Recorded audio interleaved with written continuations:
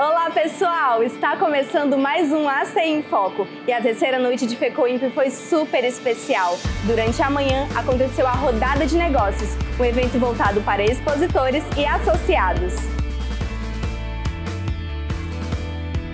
Seguimos durante o dia com palestras no Espaço Plenitude e demonstração de serviços no estande do Senac.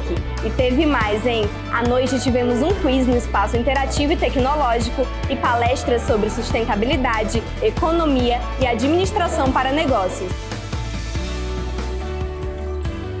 Se você ainda não veio, corre no site e faça seu credenciamento que é gratuito. Eu te espero amanhã, hein? Tchau, tchau!